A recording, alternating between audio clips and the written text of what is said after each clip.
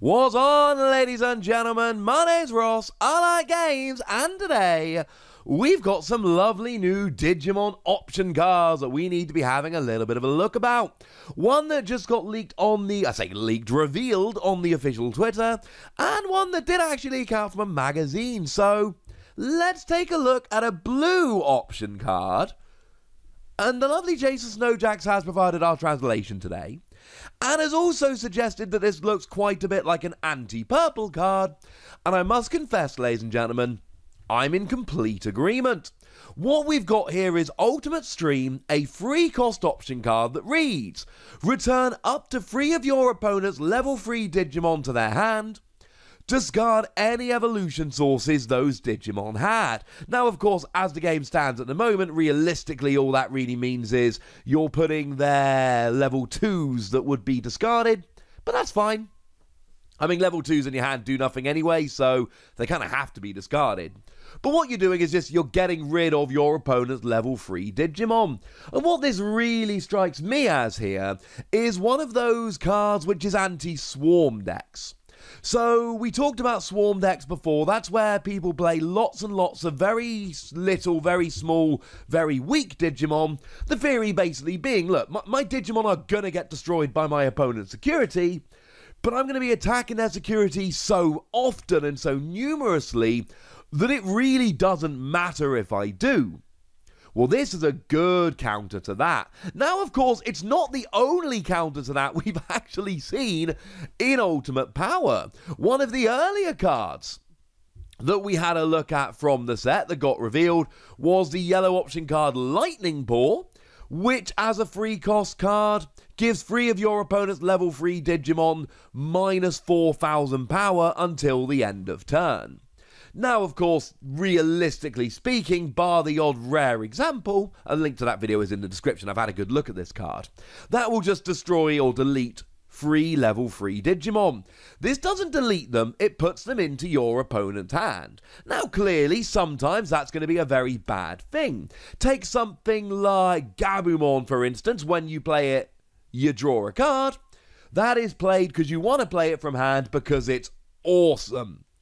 Putting that into your opponent's hand, arguably not the cleverest move. However, that's the rare exception. Now, I did say that this was an anti-purple card. Why, why would I refer to it as an anti-purple card? Well, think about something like Piedmon. When you play Piedmon, you may play up to two level 4 or less purple Digimon from your trash without paying their costs, though you do not get to use any when played effects. Well, if you just put your opponent's level 3 Digimon into their trash, you're letting them get them back with Piedmon for free. So it's not exactly doing a huge amount of bad stuff here. Whereas by putting them in your opponent's hand, you're basically saying, look, not only do you not have them, but I know that you're playing to try and get them back from your trash. Now you can't. Ha ha ha. Ha ha ha ha. Yeah, that's kind of good, ladies and gentlemen. So it is kind of nice that just, just slowing down those purple ones in that regard as well. I like it. The fact of the matter is, this is an anti-swarm deck. Actually, one more example. Metal Garurumon when you attack. You can play a level 3 purple Digimon from your trash without paying the cost. So again, we've got a, a very similar thing going on here. You're getting rid of their cards, but you're not running into them just being able to play them again for free. And I really appreciate that. That seems like a very good thing. But going back to the card as a whole, what we really see here is just a way to stop swarm decks. Because, look, we, we have not had that many tournaments, alright? This game is very much in its infancy, and for pretty much the entire time we have had the game so far, we've either not had tournaments due to the whole pandemic thing, or the amount and size of tournaments has been greatly restricted, due to the whole pandemic thing. We are very, very early on in this game. Let's be very clear about that. But certainly swarm decks have a chance. I've seen some do well, I've seen some do badly. We do not have enough data and enough testing to really say for certain. But now, if Swarm decks do become big, all of a sudden blue decks now have an option to try and take them down, in the same way that yellow decks do. Does that mean we're going to get cards equivalent to this, anti swarm cards, for other typings? I would imagine so. I would imagine this isn't going to be the only one we ever see. We don't know, is the honest answer at the moment. It's one of those wait and see jobbers.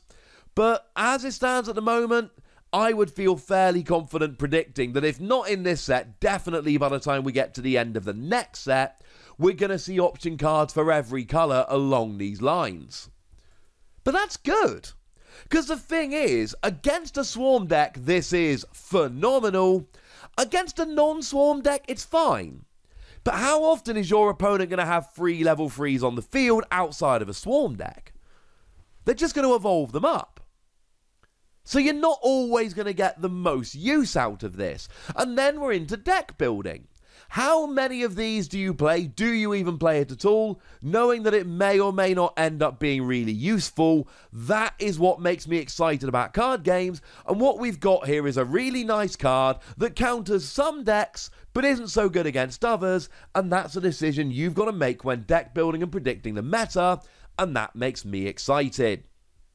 Hey, speaking of which, let's look at a purple option card, Grisly Wing. This one was shown off in a magazine, hence why we don't have quite such a lovely image.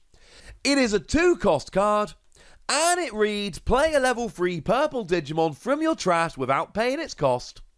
Digimon played by this effect do not activate their when played effects.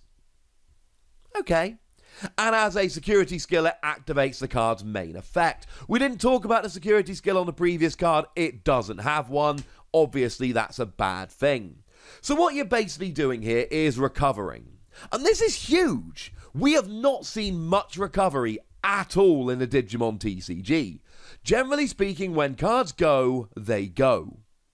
Now, the other cool thing is, of course, that this is very much a purple card. Now, I know it's actually a purple card, but I just showed you Piedmon and I just showed you Metal Garurumon that can play level 3 purple Digimon from your trash. This can do that, but as an option card. Now, one simplistic way of looking at this is basically going, hey, I can play Impmon as a free cost, or I can play Tapirmon as a free cost. Now, the reason I use them as examples are partly because they're two of the only free level threes we've seen so far, and partly because they've got really good destroyed effects.